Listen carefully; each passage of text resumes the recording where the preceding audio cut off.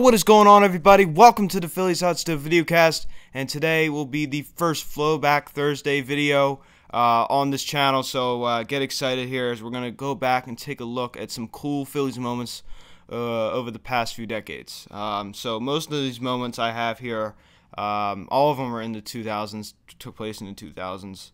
Um, you know, so they're all kind of throughout the years. They're more spread out, you know, like 2006, 2007, 09, 10. Uh, one videos in 2011. So uh, we just kind of got some cool moments to talk about. Uh, I'm going to be showing some video clips. Before I get into this, um, all rights to Major League Baseball. Um, obviously, I don't want to, uh, you know, I don't own any of those videos. So uh, all rights to Major League Baseball. Um, but uh, anyway, let's not waste any time and let's get right into it. so the first one we're going to be talking about, the first clip I'm going to be showing is the Ryan Howard 58th home run. Um, and I think that was just that was amazing because like he just had such a great year that year. Like that was one of the best years a Phillies player has had. Um, 58 home runs, uh, which was amazing. That's the most home runs that a Phillies player has hit in a single season. So um, that was one heck of a year for Ryan Howard. Uh, hit it opposite field too. Uh, that was against the then Florida Marlins, obviously now Miami Marlins. Uh, that was on uh, September 22nd of 2006. And really, if you think about it, he could have got 60. Uh, he had a few more games left of that year. I mean, it was only like uh, the 22nd, so he really could have gotten uh, 60. But nevertheless, that was a great, great uh, season for him. And 58 is still a great number. So I'm going to show this clip. He hit the opposite field and listen to the great, the late great Harry Kalas making that call. Here you go. Well hit to the opposite field.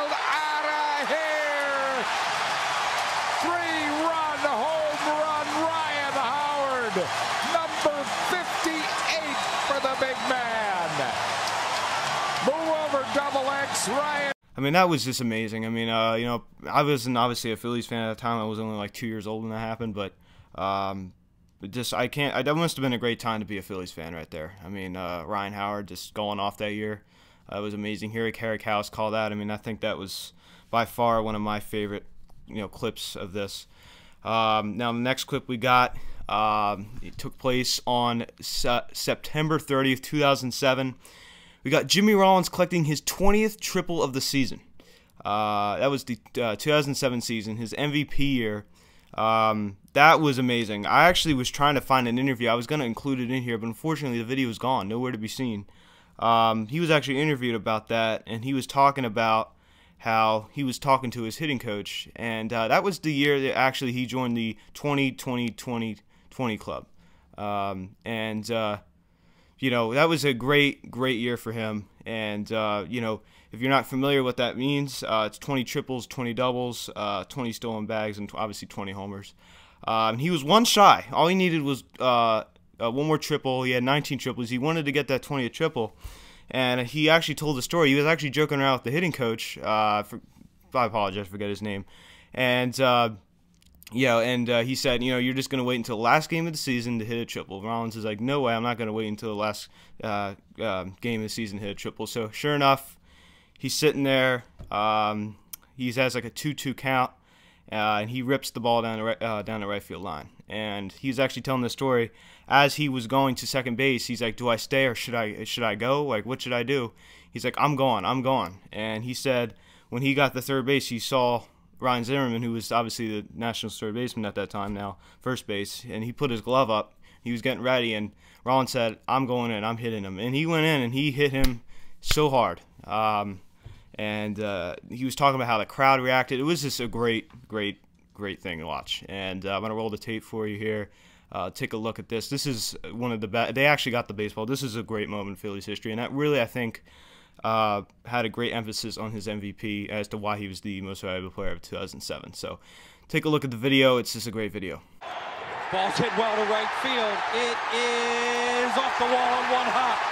Scoring Chris Coste. Jimmy Rollins is going to try for three. Here he comes. He yes! got a triple. Whoa! Jimmy Rollins with that big 20th triple of the year. Holy cow. Wow. Unbelievable. 6-1 Phils, and he pumps his fist at third base. Yep. What a big hit. They want that baseball.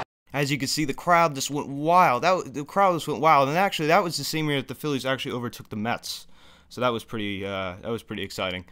Uh, the next clip we got is a Chase Utley inside the park home run. He hits it off the uh, top of the center field wall, uh, out towards kind of left center, uh, a little bit. Uh, it's in towards center field. Bounces off the wall, rolls all the way towards the bullpen, and Utley can move. Utley could move. Like he could put it on. He could put on the the accelerator if he had to. And I mean, he he really liked this one out. I mean, he barely just made. He just he just made it. Watch the clip.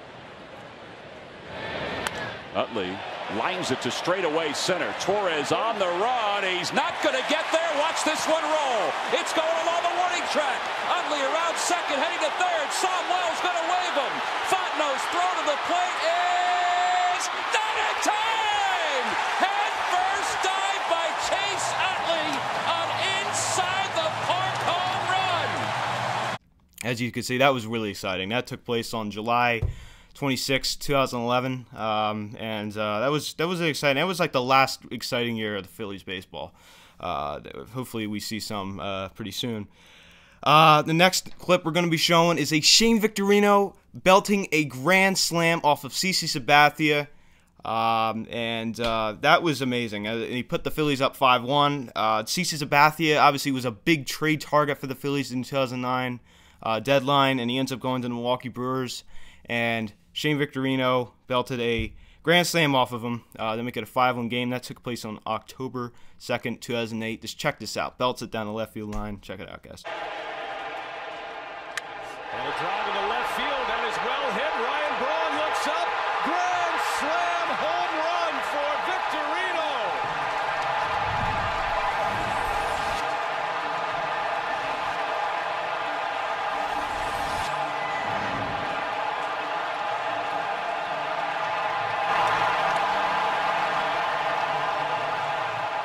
As you can see, another great crowd reaction. You could see CC Sabathia's reaction, not very pleased uh, with that result. I do not blame him.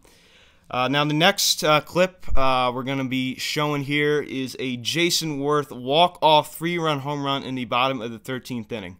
Uh, now, what's really special about this is that actually was the 10th consecutive win that the Phillies had at that time, and uh, that was on uh, July 21st, 2009. And this was like prime, the prime time for the Phillies. Like this was like their best.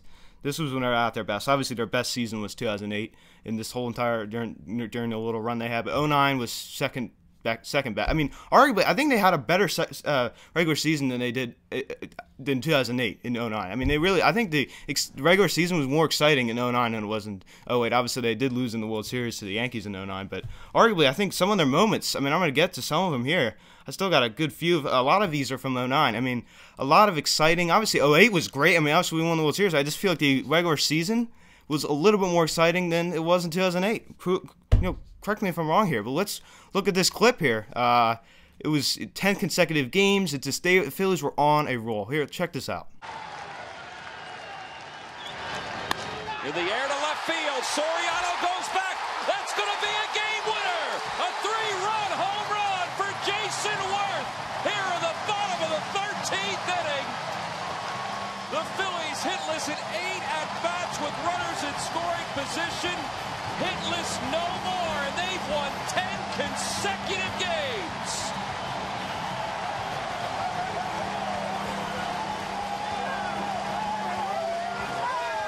So obviously that was fantastic.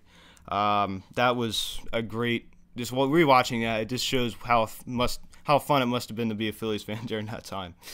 Uh, now the next flashback we're going to be discussing is Carlos Ruiz hitting a walk-off solo home run in the bottom of the 10th inning uh, to give the Phillies a 2-1 win against the St. Louis Cardinals on September 4th, 2010.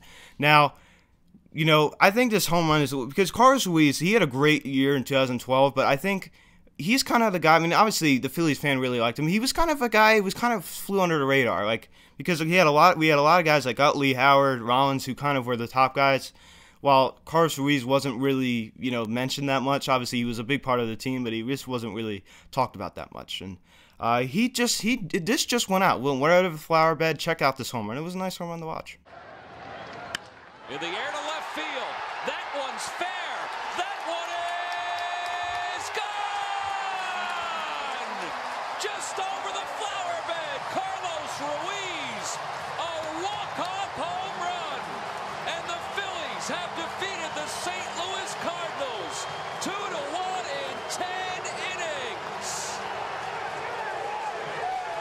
And as I said, this must have been really fun times, you know, for, for these Phillies. And, um, you know, it, 2010, 11, 09, obviously were really good years. 08, obviously.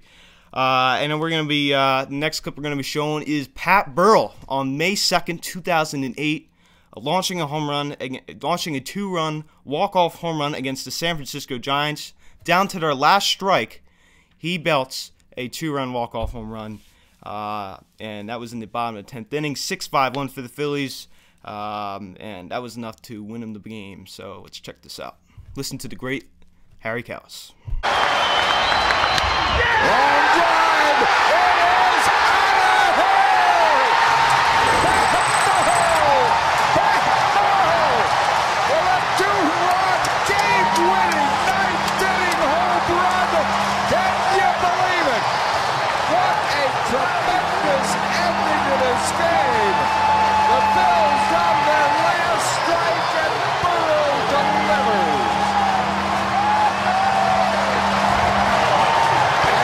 Obviously, just hearing Harry Cla- Harry Kalas, he's like, his his voice is just amazing. You know, I really really miss him, and what a great announcer he was. You know, it's a shame that he's you know still not here. You know, he was he was awesome. I you know.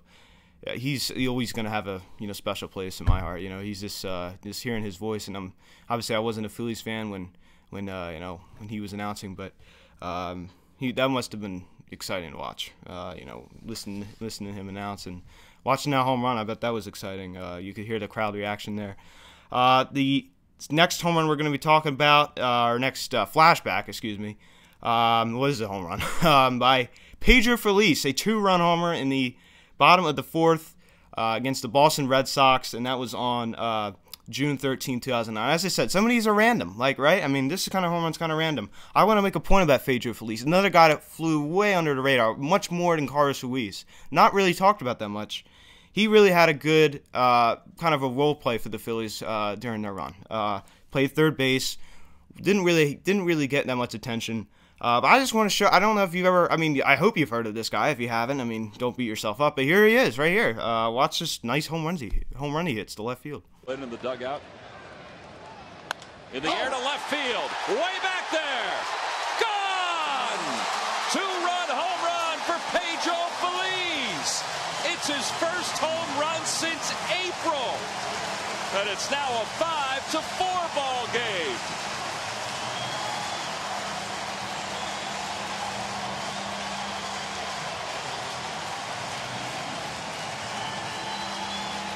Yeah, he doesn't have a bad swing. I mean, uh, I I mean, I remember last year they were, uh, you know, obviously before our season started last year, and we were, you know, having high hopes that they compared him to Maikel Franco. So um, that was obviously we had higher expectations for last year. But anyway, uh, Pedro Feliz. You know, I, I, I liked him. I thought he I thought he did a good job. Obviously, he wasn't the star of the team, but uh, he definitely had a part in the uh, you know Phillies uh, world you know their their run for so many years in the World Series run. Uh, next clip we're going to be showing uh, on July 6, 2009. Jayson Werth belts a grand slam to make it a 22 to one ball game in the bottom of the eighth inning, opposite field against the Reds. Um, and that was a really just uh, like pile it on a full moon that night, and you see it in the clip. This Dusty Baker just sitting there on the uh, you know the um, dugout step, and he's going like this. All you see him, you don't really see much. You just see him going like this.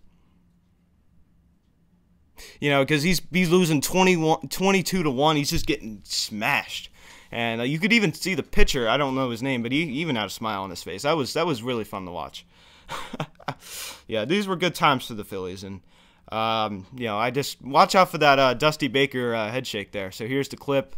Watch out for the full moon too. Here you go. I think tomorrow night is the full moon. Jayson Werth to right center field, and that's going to be a grand salami. An opposite field home run for Jayson Werth. And the Phillies are just piling it on here in the bottom of the eighth inning. They lead it 22 to 1.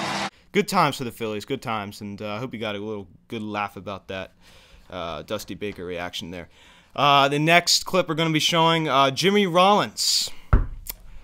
Two run walk off double against the Los Angeles Dodgers in uh, the in Game Four in the NLCS.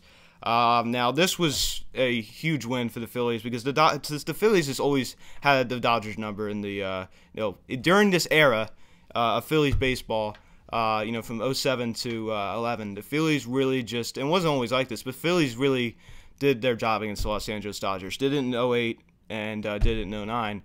Um, so, you know, so yeah, they beat them two times in the AL uh, NLCS. So to, to, go to that World Series, you know, did it in LA in 08, and then they uh, did it in 09 again. They beat them to go to World Series. So that was pretty cool to watch. Um, so here you go, guys. Here's the clip. Uh, hit it right center field in the gap in the alley. Watch it. Line drive, right center field,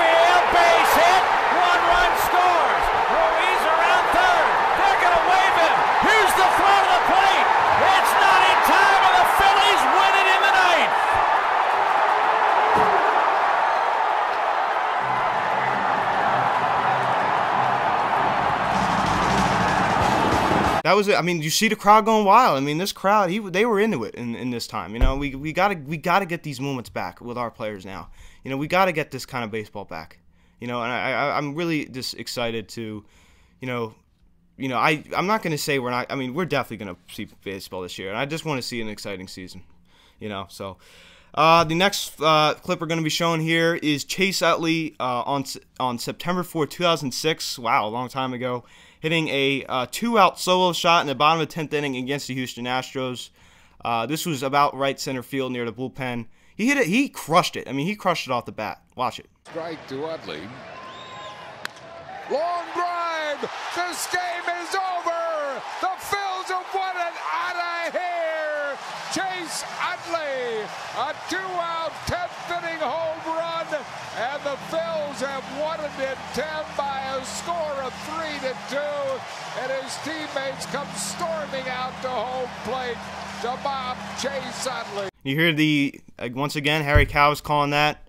Um, great job. I mean, he really hit hit that ball hard. I mean, these great. These. I mean, I think after watching some of these clips, I, th- I think you really just see how good this team was. You know, why, and why they won the World Series. You know, they just were. They were. They were really good. They really were.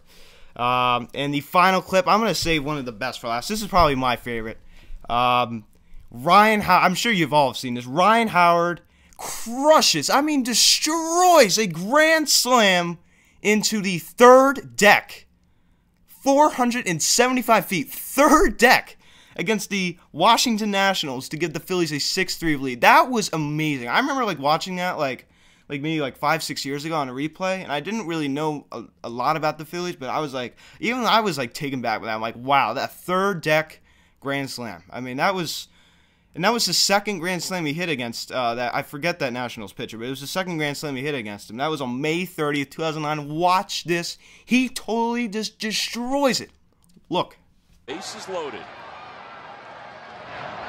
Breaking ball hit high in the air, deep to right field. What a shot this is!